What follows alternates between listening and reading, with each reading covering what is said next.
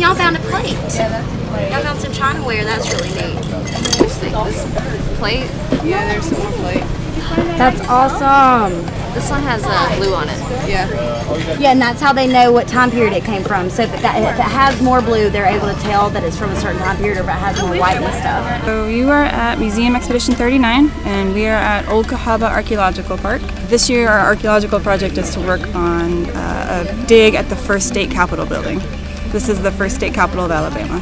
So after the capital moved to Tuscaloosa in 1826, um, this building was still here, and so the townspeople still used it as a church or whatever else until it burned. So then you have what we're seeing evidence of folks. We call them robbers' trenches, where they were digging in to get the good brick that hadn't been burned.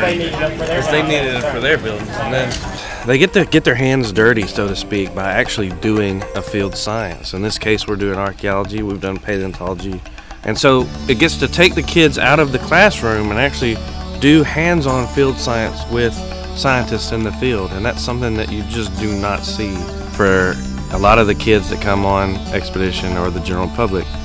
Uh, it's their first taste of being out in the field in Alabama and getting to see parts of their state that they never saw before, they never interacted with.